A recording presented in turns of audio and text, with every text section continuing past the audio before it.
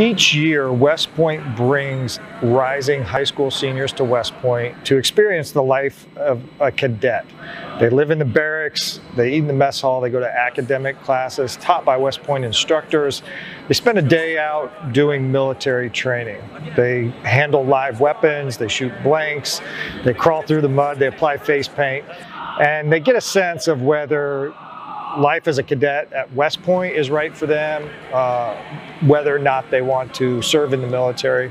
Out of the 1,100 high school students that attend SLE, between 150 and 180 cadet candidates, as we call them, will seek medical care in one way or another. Since 2016, we've started bringing in Army Reserve medics doctors and nurses. Without them, we absolutely couldn't run this kind of a program as safely as we have done it. On the Army Reserve side, the Army Reserve gains real-world medical treatment.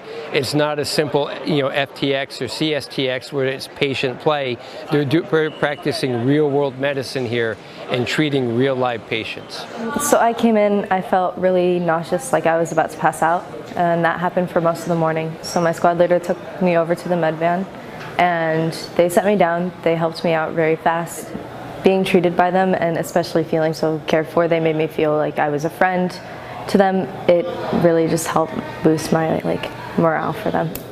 The impact is before West Point did not know anything about the AMEDD or the Army Reserves. Today, the superintendent of West Point has said, we cannot live without the Army Reserve and the Army Reserve AMEDD. It's a force multiplier. It keeps these cadet candidates engaged in the fight. And what do we want to do in the AMEDD? Treat the soldier as far forward as possible and return them to the fight and they can continue training here.